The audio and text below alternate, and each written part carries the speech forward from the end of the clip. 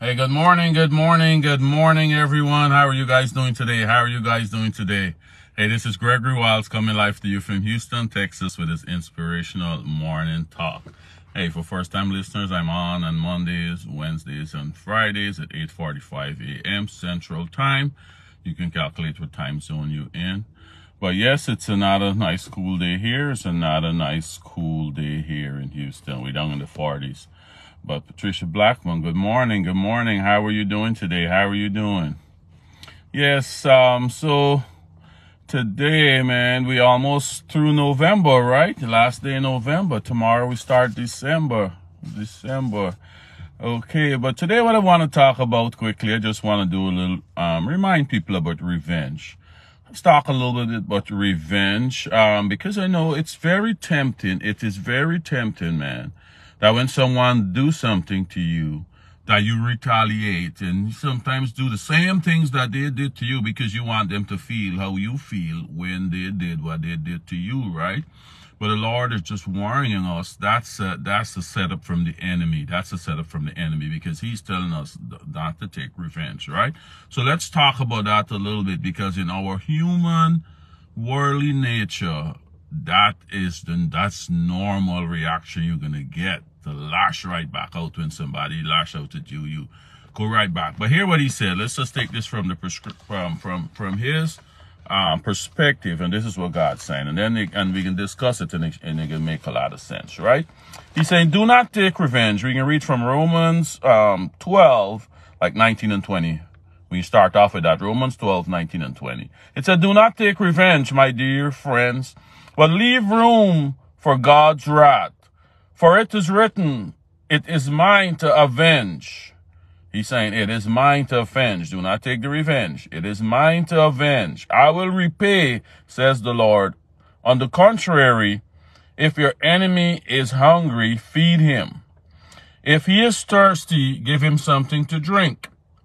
In doing this, you will heap burning coals on his head. So God saying, look, do not, you do not take the revenge. You left that to me, left that to me. Instead, if the person who did you wrong find yourself in some trouble, you help them. You help them. The hungry, get them something to eat. The thirsty, get them something to drink. Right? You help them.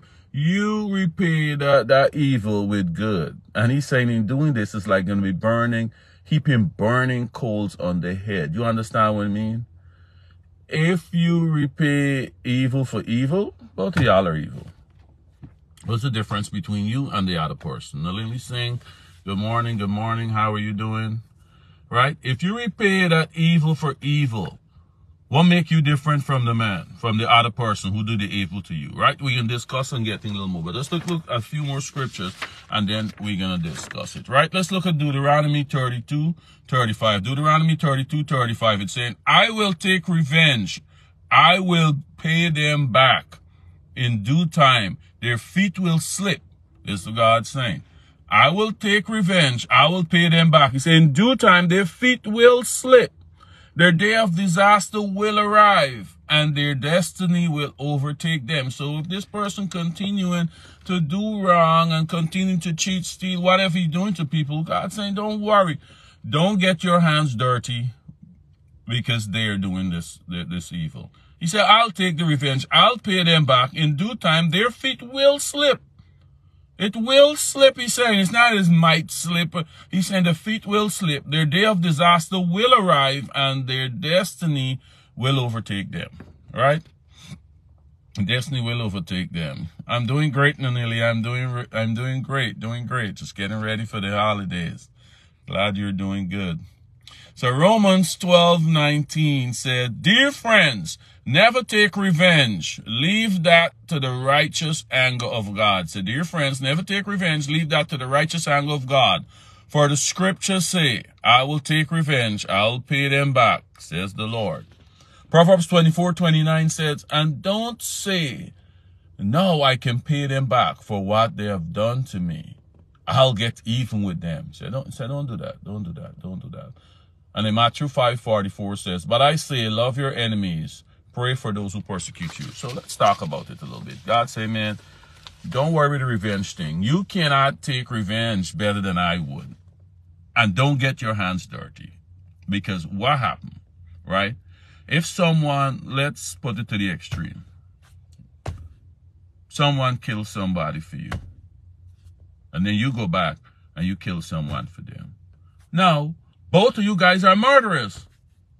Both of you guys are murderers. Whatever's the penalty for murder, you are going to get the same penalty like that person, right? So he's saying you don't get yourself involved and make that person pull you to do the same evil that they did to you.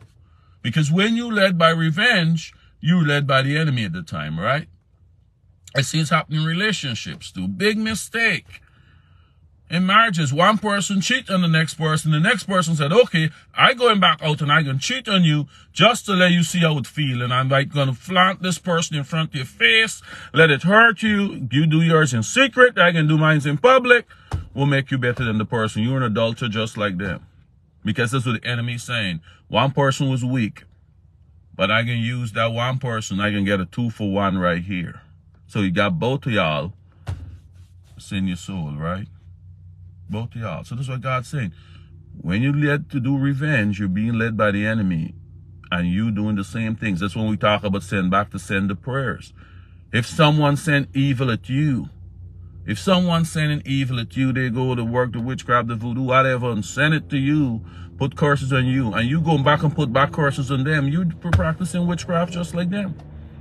You send back what they send to you, and they send evil to you, and you send back evil to them, you send back the same evil prayers to them. You said, you're doing the same thing what they're doing. What make you different from them? What make you different from them? That's why he's saying, let me handle this. Let me handle this. He said, if you treat them with love, you know somebody trying to do you something. Someone is trying to do you evil. And they know the lies they're telling on you. They know what they're going back behind your back and talking to the boss about you and all of that. And you like, you know what, you're treating them nice and you're treating them good. And they're like, who, who are you? Who are you? I'm doing you all of these stuff. And like it doesn't seem to affect you. That's what he said. You can keep him burning coals on the head because they can't figure you out. They cannot figure you out.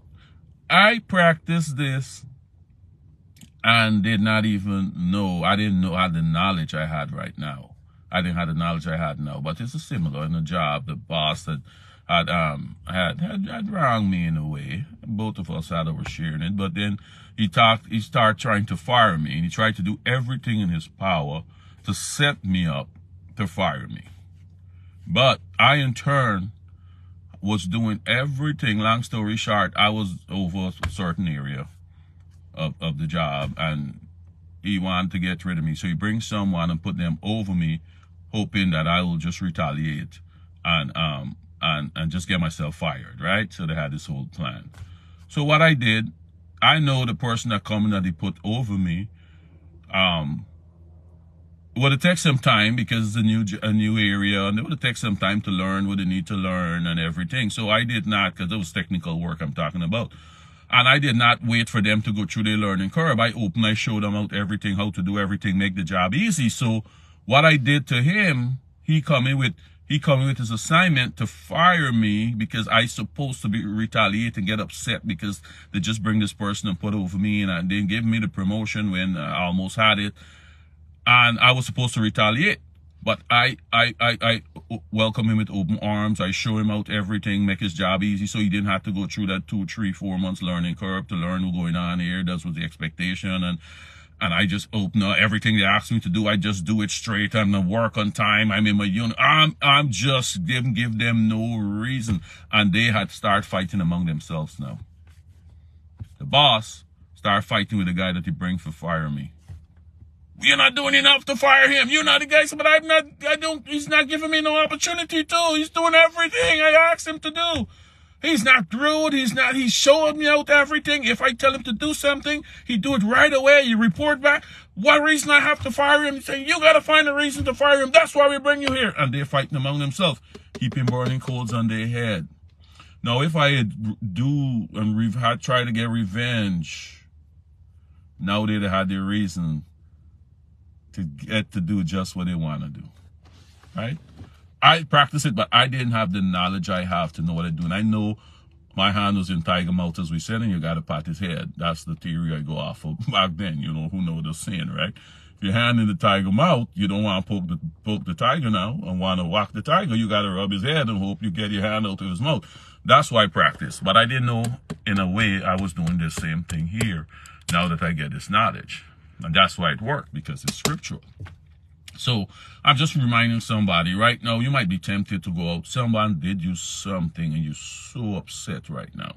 And you plotting and planning what you're going to do to them to make them feel and get some revenge on them because they hurt you and you thinking all kind of evil going through your mind right now. How I'm going to hurt this person back. I'm telling you, don't do it. I hope this message get to you on time and you don't go and do it. Leave revenge for the Lord. You might see somebody cheating the way and lying and, and doing all kind of crooked things and getting promotions. You like, there cannot be a God. How this person doing all this wickedness and this things to still getting promotion, all of that.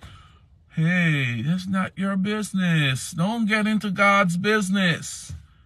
The higher you take them, it's the harder they're to fall. You see, you looking at it in a different way. But he's saying, I'm the best person with this revenge thing, man. Their own evil, as he said, gonna trip them up. So you don't worry. The higher they go, the harder to fall, right? So when you're thinking there's not a God and He's allowing them to get away with all this evil, He's saying, no, no, I ain't allowing them to get away with nothing. I ain't allowing them to get away with nothing. You let me handle this. And you don't get yourself involve and do the same thing that they're doing. Because the punishment I got to give them, I also got to give you because you did the same thing they do. Not because you're doing it in revenge. I got to spare you, right? Just like the, the, the stuff with the murder, right? He, they commit murder against you, you, someone, and you going to do it back. Both of you got stand trial for a murder charge now. So the same way God's saying.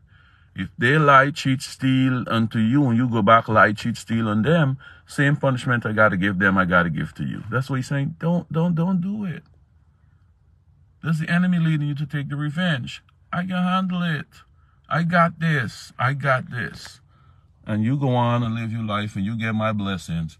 And I and I and I can take care of them. But if you do the same thing they do, you're just like them now. I gotta punish you too. Right, guys? It's hard to practice because our human worldly nature want to lash out, want to get back the revenge. But I hope this message um, make a difference as you listen it and people listen to this in the future. Leave the revenge to him. So calm down right now as you go into the office today. Calm down right now with the friend that did you wrong. Calm down right now and let this message marinate in you for the person who did you wrong. Calm down. Treat them nice. Keep the burning coals on their head and God got it. Trust me. He said he got it. He got it. All right. We can leave that there, guys. Um, we'll talk again on Friday. Have a great day. Goodbye.